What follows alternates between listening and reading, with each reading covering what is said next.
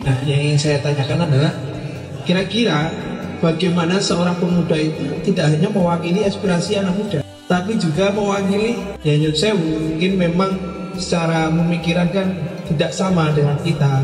Mungkin yang jenengan aturkan memang benar. 10 persenan. Memang benar generasi milenial dan Gen Z Saya kemarin menyusun program untuk membuat penyediaan bangunan fasilitas hub.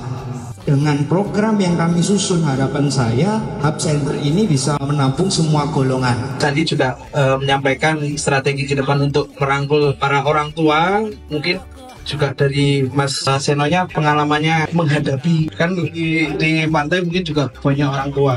Itu seperti apa? Pokoknya pasukan berani mati. Ternyata ada 2.600 orang aneh, orang gila menurut saya yang mau jadi relawan. Dan lebih parahnya lagi, yang menjadi koordinatornya saya. Tapi apa kuncinya? Semuanya berhasil, dua bulan setengah kita berhasil menurunkan status COVID di Surabaya dari zona merah ke zona kuning. orang itu tidak tahu latar belakang calon ABCD itu seperti apa loh.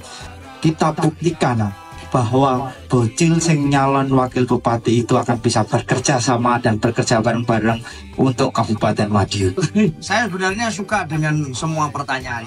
Saya suka dua yang lain, tetapi Iya. karena tadi ada titipan, maka yang menang adalah Madiun menyala pertanyaan. menyala.